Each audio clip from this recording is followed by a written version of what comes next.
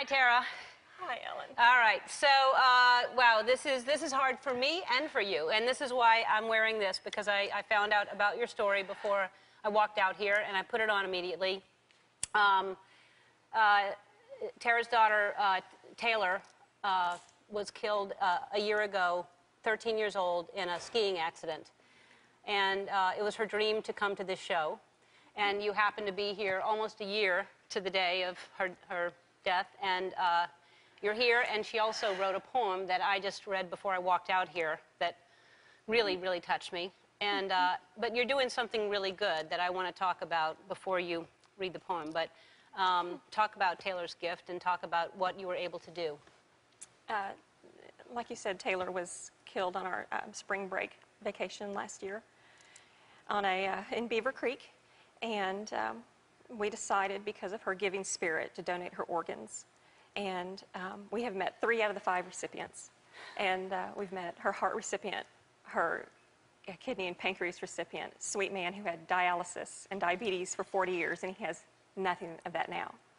Um, we have uh, met her, um, another kidney recipient also, and she saved lives. And that's what Taylor's Gift is about. We created a foundation called Taylor's Gift, and it's at taylorsgift.org, and it's just to increase the awareness of organ donation to show people how they can regift life and renew health and restore a family.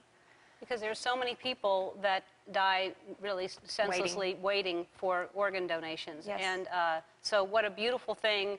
And that when I heard that you, uh, you were able to meet the person that, that uh, got her heart, mm-hmm. that must have been an amazing thing. It was. To hear her heartbeat again was, um, there's no words for it yeah. at all. Yeah.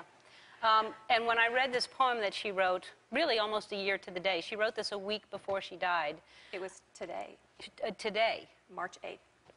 She wrote this. Today, on this day a year ago.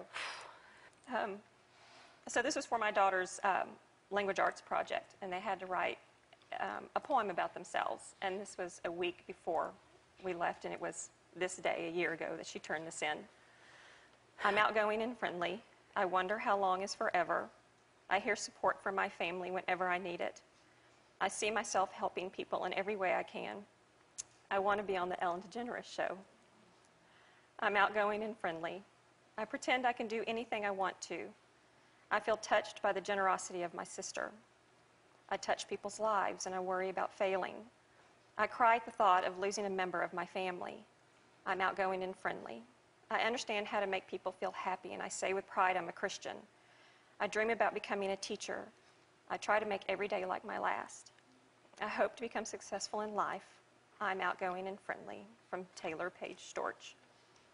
What an amazing, amazing girl.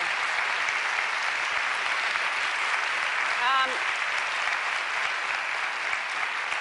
this means so much. Well, it means so much to me, and uh, she is here, and she has she has been successful. She is doing something big, and you are mm-hmm. doing something big. We're putting the poem on the website.